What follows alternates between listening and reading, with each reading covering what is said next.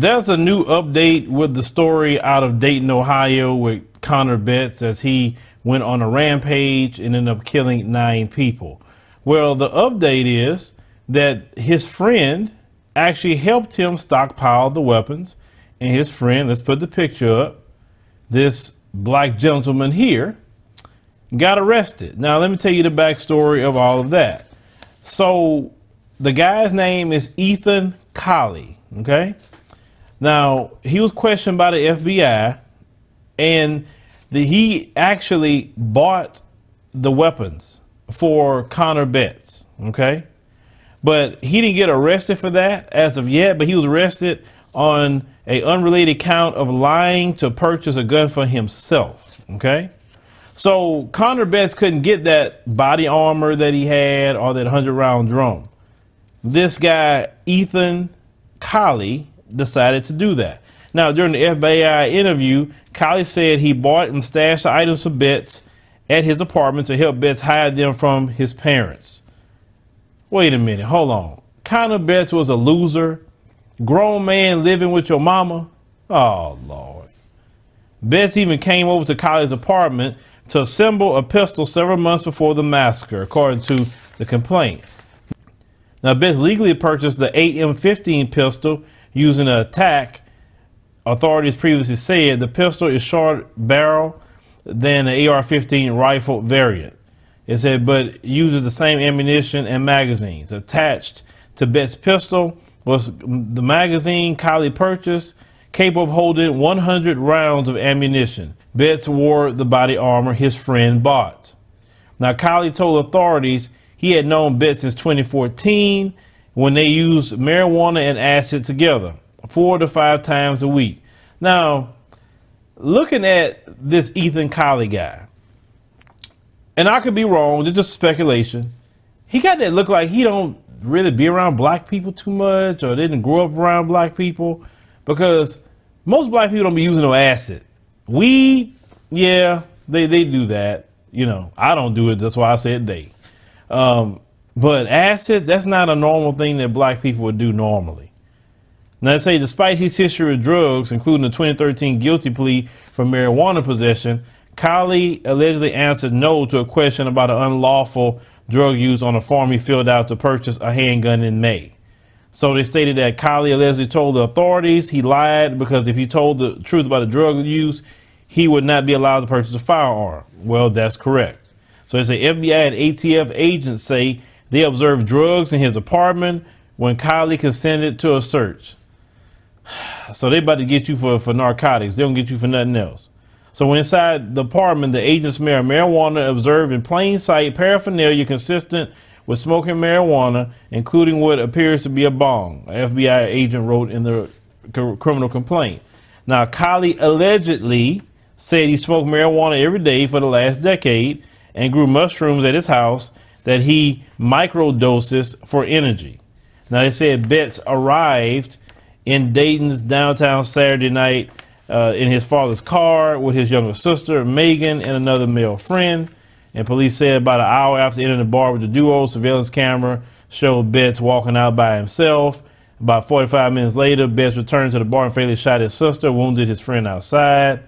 Then, of course, you know, all the things that we saw. So let me tell y'all something. Learn something from these stories that we're doing.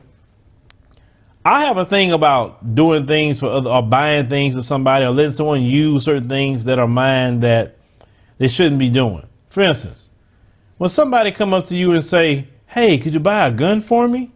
First thing you ask, like, "Why don't you buy your own gun?"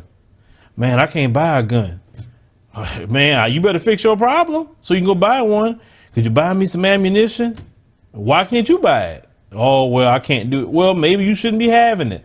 That's the attitude you got to have. Because as you can see, you buy someone ammunition, they go out and commit a domestic terrorism act. Here come the FBI and ATF at you. The guy didn't do it, but Connor did.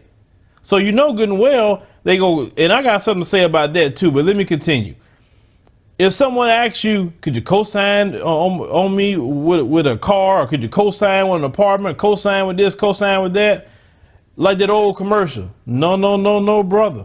You got to, or oh, sister, You got to get your own. Y'all, those in my age group, you know about that commercial from back in the day. If you messed up your credit, why would I take a risk of putting my name on there for you? Well, I didn't mess up my credit. I just don't have enough credit. Well, you better go get you um, one of those uh, cards and put money on it, whatever you got to do as a starter card to build some revolving credit because I'm not going to put my name on the line when I took care of my credit. Like, no, not at all. Certain people, you don't need to allow them to stay in your house. If they drug users, they always drunk, they don't, they do things that against the law, don't let them in your house.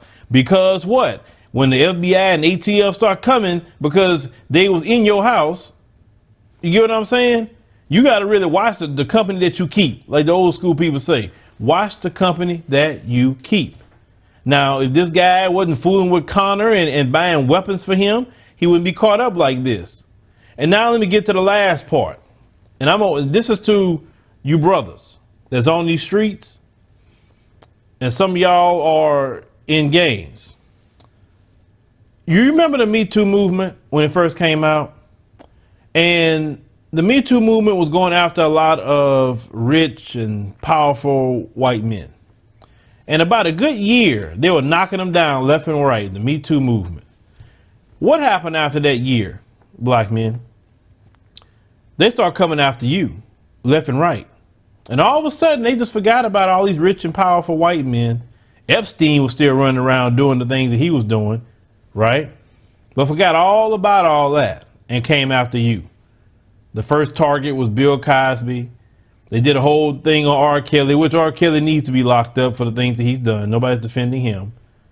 But they started trying to make the black man, which is, if you know history, they always try to make the black man as the sexual deviant, as the, the, the rapist, the scourge, right? But they just totally forgot about the white men, okay? They totally forgot about them, even though they have big pedophile rings, sex trafficking rings, etc. Leave them alone and going after them. Now you hear all this domestic terrorism talk, and you hear all this talk about white supremacists and their domestic terrorists, in which they are. But let me tell you something. This system of racism and white supremacy do not like to criminalize the own. I'm telling you, and, and, and when it happens, don't say nobody told you. They are going to say that y'all in these gangs they're going to start calling y'all domestic terrorists. And they're going to start picking y'all up under terrorism charges and locking y'all up. I'm telling you. If you start being associating with these gangs, uh, knowing this person, knowing that person, they're going to start scooping all y'all up on terrorism charges. Understand that. They're not going to just criminalize the white supremacist male. They're not going to do that because you are the number one target in this country, black man. So find you a legal hustle. Stop killing each other in the streets over stupidity because you don't own no block. These white folks own the blocks. They come in there, they want to gentrify to get you out of there. So you don't own nothing, you don't run nothing. You don't own no hood. Show me the title deed in your hand, then I can believe that you own the hood. You don't. I'm just trying to be the, the watchman that's telling you this is coming down the line.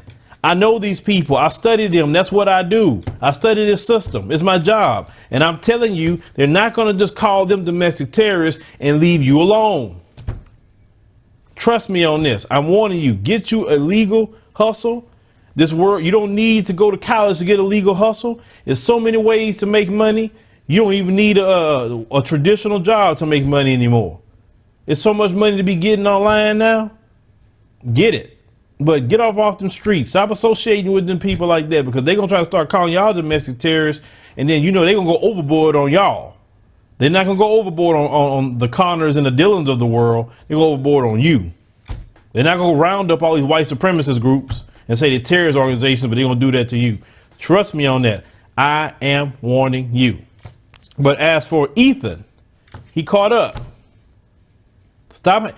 If you know someone is crazy and, and, and demented and narcissistic and evil, and you know they doing this, why are you being around them? Now it makes me wonder about you too, Ethan. But certain people I can't be around. I can't be around a guy like that. I couldn't. I'm sure they're not buying no guns for nobody. Buy your own guns.